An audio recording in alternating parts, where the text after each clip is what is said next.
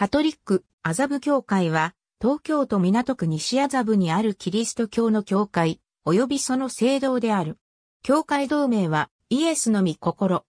1882年5月3日、芝区赤羽京南東藩の松本町に、カトリック、築地教会の巡回教会が設置された。これは、築地教会所属の信徒の中で、芝公園近隣地区に住む信徒が多くなったためである。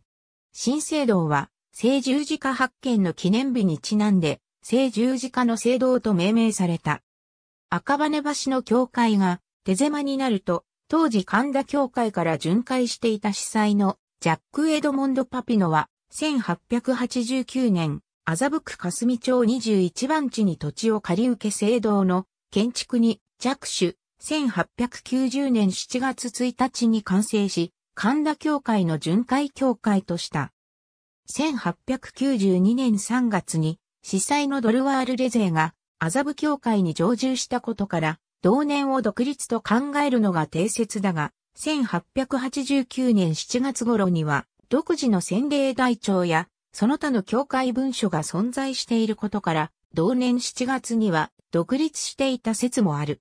1893年頃からの麻布教会の活動は東京六教会の中で最もおとなしく目立たない存在だった。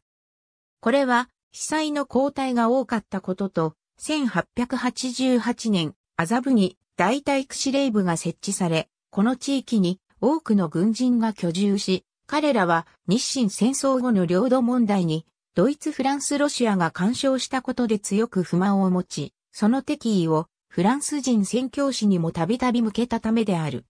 当時の司祭であるミッシェル・シュタイシェーンは温和な性格であるため移転までも考えたが、財政的に無理であったので、住民の感情を刺激しないよう、細々とした活動を行った。この苦境に耐えた麻布教会は後に大きく発展し、1921年には東京六教会の中で最大の信徒数となった。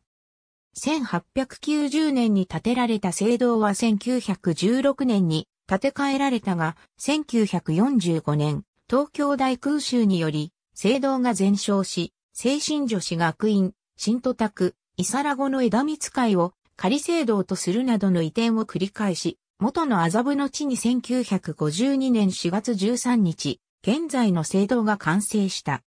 また同麻布の地で、枝光会の自宅で麻布見心幼稚園を併設する。ありがとうございます。